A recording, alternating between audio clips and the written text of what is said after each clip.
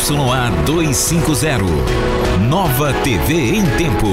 Uma emissora afiliada ao SBT. Líderes de facção criminosa no Amazonas são caçados pela polícia. Eles são alvos da Operação Asfixia, deflagrada em nove estados brasileiros por uma força-tarefa dos ministérios públicos. Além de traficar drogas, eles também comandavam execuções, muitas vezes de dentro dos presídios. Delegado da Polícia Civil Gustavo Sotero vai a júri popular no dia 4 de novembro. Ele é acusado pelo assassinato do advogado Wilson Justo em uma casa de shows de Manaus. Animais do zoológico do extinto Hotel Tropical serão transferidos para outros estabelecimentos. A decisão foi anunciada pelo órgão ambiental do Amazonas. E no esporte, quase mil homens vão garantir a segurança dos torcedores que forem assistir a final da Série D entre Manaus e Brusque na Arena da Amazônia. A população pode ter certeza que as paradas de coletivos também estarão policiadas. Eu sou Alex Costa e este é o Jornal em Tempo, que está começando agora.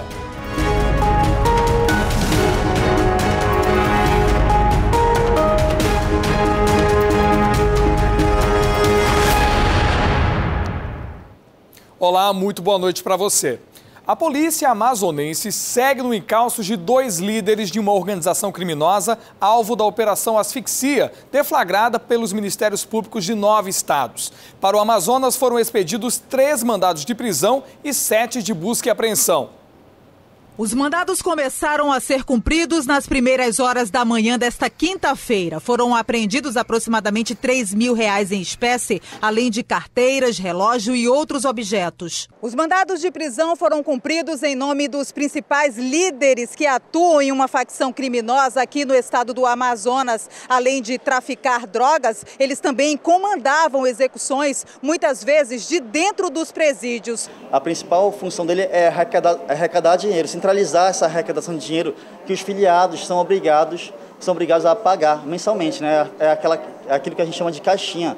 Márcio Carneiro, Márcio Doido, um dos líderes criminosos, já está em um presídio federal no Rio Grande do Norte. Os irmãos Alain Rolim e Anderson Rolim estão foragidos. Tanto o Alain quanto o Márcio seriam os autores intelectuais desse massacre, seriam, teriam partido deles os salves que é, que ensejaram o massacre dentro do sistema prisional aqui, aqui no, em maio desse ano. A Operação Asfixia acontece simultaneamente em outros oito estados, como o Rio de Janeiro, onde 41 policiais militares estão sendo procurados pelo envolvimento com traficantes. Cinco pessoas foram presas em flagrante por envolvimento com roubos e formação de quadrilha. O grupo foi apresentado hoje na Delegacia Especializada de Roubos, Furtos e Defraudações. Os homens foram presos em flagrante no momento em que dividiam o dinheiro roubado, 33 mil reais. Ao todo, foram quatro homens e uma mulher. Eles não foram apresentados pela polícia por causa da nova lei. Os nomes são Elias de Souza Cândido Rodrigues Júnior, Hélio Gustavo Azevedo Silva, Mauro Célio Pereira da Silva, Rangel Silva de Araújo e Márcia da Silva Ferreira. Com ela, a polícia encontrou um revólver calibre 38, que foi utilizado no crime. Eles entraram, é, renderam, anunciaram um assalto e a partir desse momento eles é, se encontraram em, no, no outro lugar para fazer a divisão do dinheiro. O curioso é que dois dos homens se conheceram no presídio. O Mauro e o Hélio são pai e filho, já tinham sido presos, também foram presos agora juntos e foram se conheceram dentro da cadeia, conheceram o Elias dentro da cadeia. Todos vão passar por audiência de custódia. E um corpo encontrado na manhã desta quinta-feira em um ramal do bairro Tarumã, na Zona Oeste, é do motorista Júlio César da Silva Pereira, de 50 anos. Ele foi sequestrado na madrugada de sábado. Ao vivo, quem traz as informações é o repórter Valdir Adriano. Valdir, boa noite para você. Boa noite, Alex. Boa noite a todos que nos acompanham aqui no Jornal em Tempo. Pois é, o corpo foi reconhecido como sendo de Júlio César da Silva Pereira, de 50 anos, que estava desaparecido desde o último sábado, quando foi sequestrado lá na Rua 10 do bairro Jorge Teixeira, na zona leste de Manaus. Vale ressaltar que a vítima era motorista de aplicativo e estava desaparecida. Familiares não souberam dizer se ele estava sendo ameaçado ou quem possa ter cometido esse crime. O fato é que a delegacia especializada em homicídios e sequestros está investigando esse caso, mas até agora não tem pistas da motivação e também a autoria desse crime. O homem foi encontrado, o corpo dele foi encontrado com sinais de estrangulamento e foi levado até a sede do órgão, onde foi reconhecido por familiares na manhã desta quinta-feira. Volto com você ao estúdio. Obrigado, Valdir, pelas informações. Realmente uma investigação muito complicada. E a gente segue falando de outras informações. A Justiça do Amazonas marcou para o dia 4 de novembro o julgamento do delegado Gustavo Sotero. Ele é acusado pelo assassinato do advogado Wilson Justo durante uma briga em uma famosa casa de shows aqui de Manaus. Os detalhes quem traz é a repórter Gabriela Moreno. A decisão saiu após a solicitação do Ministério Público do Estado. Sotero vai a júri popular por um conselho de sentença da primeira vara do Tribunal do Júri da comarca de Manaus. A decisão foi acatada pelo juiz Celso de Paula em dezembro de 2018, mas somente agora o julgamento foi definido. Vai acontecer no dia 4 de novembro. O delegado Gustavo Sotero está preso na sede da Delegacia Geral de Polícia Civil. Ele é acusado de matar o advogado Wilson Justo Filho em em uma casa noturna no ano de 2017. A esposa de Wilson, Fabila Rodrigues Pinto de Oliveira, Maurício Carvalho Rocha e Yuri José Paiva Dácio de Souza foram feridos. O delegado vai ser julgado por homicídio e três tentativas de assassinato. Volto com você ao estúdio. Ok, Gabi, muito obrigado pelas informações.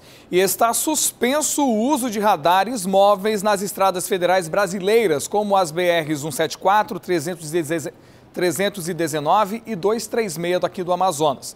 Os detalhes quem traz é Luiz Rodrigues. Exatamente. O Diário Oficial da União publicou nesta quinta-feira o decreto do presidente Jair Bolsonaro que suspendeu o uso de radares móveis nas estradas federais. Aqui no Amazonas, isso afetará a fiscalização da Polícia Rodoviária Federal nas estradas BR 174, 319 e 236, que é a Transamazônica, que utiliza desses equipamentos para fazer a fiscalização. Especialistas em trânsito não concordaram com essa decisão do presidente por conta do último levantamento feito aqui no Brasil Brasil, que mostrou uma diminuição nos acidentes de trânsito quando esses equipamentos começaram a ser utilizados nas estradas. Eu volto com você. Ok, Luiz, muito obrigado. E o prefeito de São Paulo, João Dória Júnior, do PSDB, teria encomendado à TV Cultura aqui do Amazonas a produção de uma matéria com conteúdos contrários ao modelo Zona Franca. Esse é um dos destaques do nosso giro político. A informação é do presidente da TV Cultura do Amazonas, Oswaldo Lopes. A negativa em produzir algo contra o modelo Zona Franca foi o estopim para o fim da parceria com a TV Cultura de São Paulo. Agora, a emissora amazonense será parceira da Empresa Brasileira de Comunicação, a EBC, e mudará de nome no dia 20 de setembro.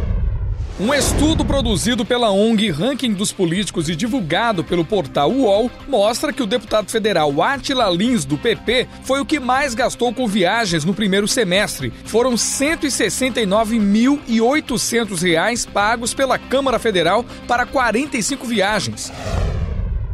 E o presidente do PDT do Amazonas, Issa Abraão, declarou que o ex-governador amazonino Mendes terá de procurar outro partido se quiser ser candidato a prefeito no próximo ano, como tem ensaiado nos últimos meses. O ex-deputado federal disse ainda que amazonino não é mais bem-vindo no partido de Leonel Brizola. E veja a seguir: fechamento da Avenida João Valério traz transtornos para motoristas numa das regiões mais movimentadas de Manaus. Você está vendo agora aí na tela o cruzamento da Constantino Neri, muito complicado o trânsito. Agora são 18 horas e 24 minutos. O Jornal em Tempo volta já já.